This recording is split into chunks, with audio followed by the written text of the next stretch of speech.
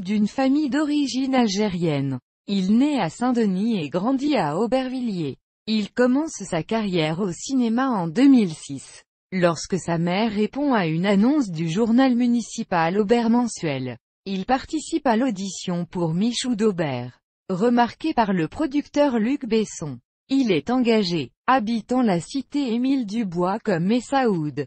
Le personnage du film, Samy Seguir interprète l'un des trois rôles principaux avec Gérard Depardieu et Nathalie Baye.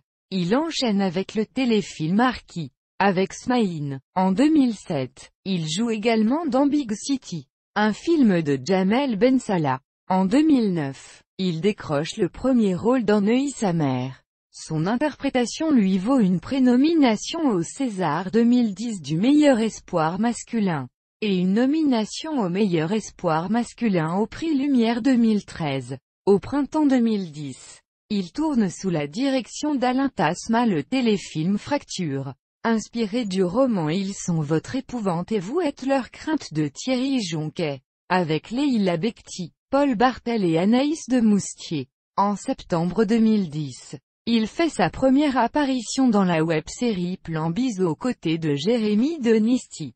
On le voit ensuite dans Les Petits Princes, avec Paul Bartel et Eddie Mitchell en solitaire avec François Cluzet et à toute épreuve d'Antoine Blossier. En 2014, il devient capitaine de l'équipe de football des moins de 19 ans du CM Aubervilliers. Son frère cadet, Émir Seguir, est aussi acteur.